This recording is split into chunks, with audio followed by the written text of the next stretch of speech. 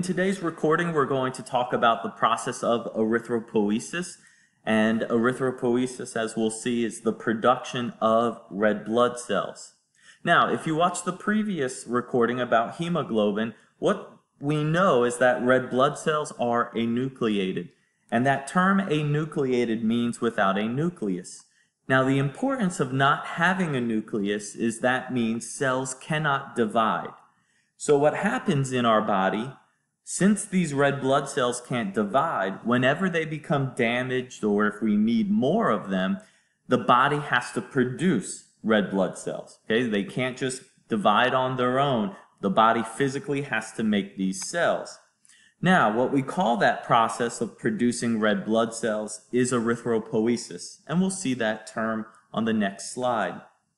Now, real quickly, the first bullet point here is talking about this idea of homeostasis. And remember, this is coming from chapter 1. You saw it in AP 1. But the idea of homeostasis, it is the ability of an organism to maintain a stable internal environment, okay? And basically what that means is that for every factor or variable that affects the body, the body has a particular range where it would like to be. So for like pH, the body uh, wants pH to be between 7.35 and 7.45. And as long as we're in this range, our body is healthy, our body is happy. That is true here for red blood cells as well. We have a particular range for the number of red blood cells, and as long as the body is in that range, life is good. However, if the body goes outside of the range, then we need to respond to that, okay? How we regulate this is through negative feedback, okay? Again, this is coming from chapter one. Very, very important idea. It's a fundamental idea. Negative feedback is. What is negative feedback? Basically speaking, it's a return to homeostasis. That's the easy way to think about it.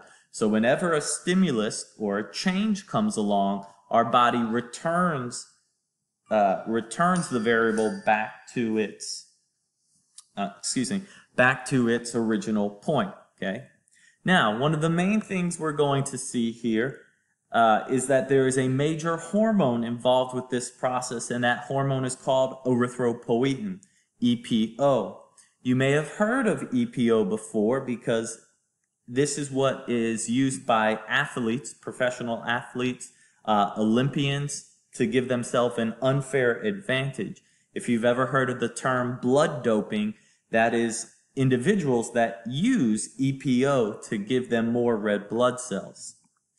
Uh, and the benefit of red blood cells, the more red blood cells you have, the more oxygen you have, and that is beneficial. Okay, a couple notes here about EPO. Again, it is a hormone, and by definition, hormones are released into the bloodstream. And a quick note here, where we produce, where the body produces this hormone, two locations, generally speaking, the kidneys and the liver. Okay. Okay, so let's look at a diagram uh, real quick. Okay, so real quickly, here is the words for what we're going to look at. So if you want to come back and look at this, you can. But let me show you the picture from our textbook here. Now, real quickly, what you'll notice here is what initiates this whole pathway, okay, and again, this is called erythropoiesis.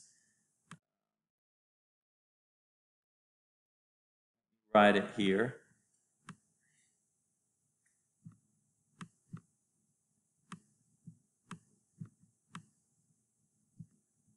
You know what? I'm not going to write it. this is just not the best mouse to be able to write on. But anyway, let's look at this here. So what starts this whole process is low blood oxygen concentrations. And there is a particular term for low blood oxygen concentration, and that term is called hypoxia.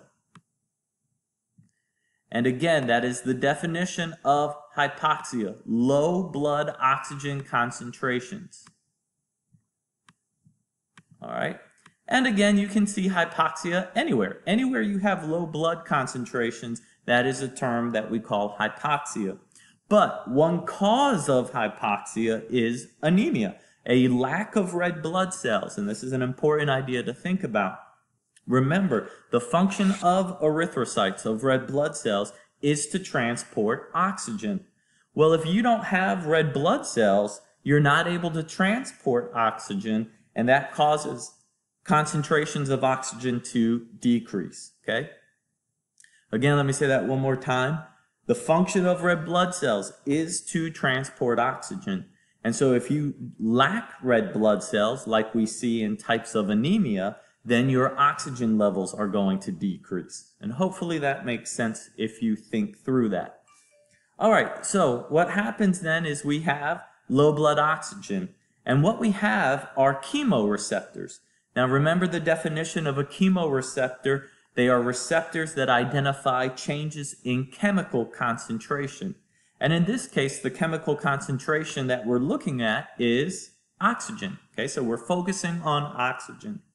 Now, when we have a state of hypoxia, these chemoreceptors stimulate our liver and kidneys to produce the hormone erythropoietin. As we mentioned before, erythropoietin is released into the bloodstream, and then what happens is it stimulates red bone marrow, okay? And I'm going to put the plus up here. Hopefully you see where the plus is starting here. Let me scroll down just a touch. So we can see a little bit more of this image here. Okay, uh, again, this image is from your textbook, so if you want to follow along in chapter 14, you can find this image. But here we are. Liver and kidneys produce erythropoietin, and it stimulates red bone marrow here to produce more red blood cells, okay? Or again, more erythrocytes. The importance of this is more erythrocytes, look what that causes. Boom.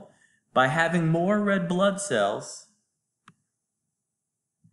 by having more red blood cells, we increase oxygen carrying capacity, aka increased oxygen carrying capacity leads to an increase in oxygen concentration. Okay, so you can read that as an increase in O2 levels.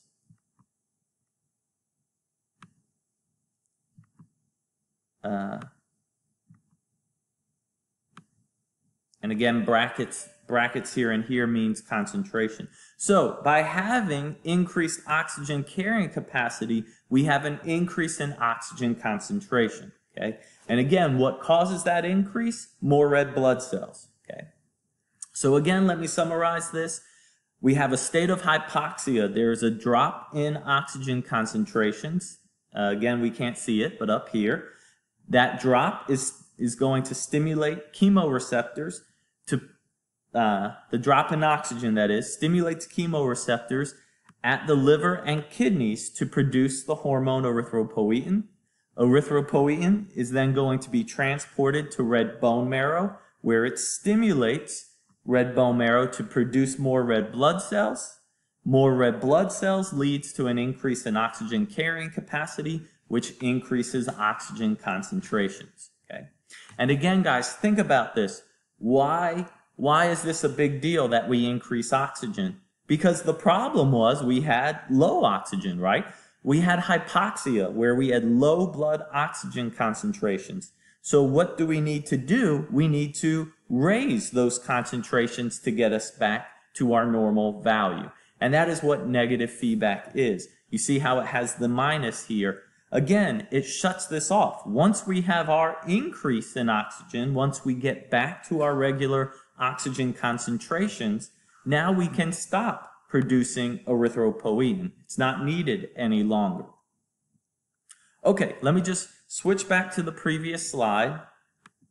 And let me fix that here. So you can see the idea that we're looking at. Again, this just puts into words what we said but again, this image is a great image showing the process of erythropoiesis, uh, the hormone erythropoietin, and the function of it.